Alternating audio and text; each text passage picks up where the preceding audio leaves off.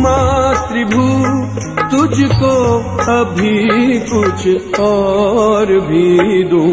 मन समर्पित तन समर्पित, और यह जीवन समर्पित।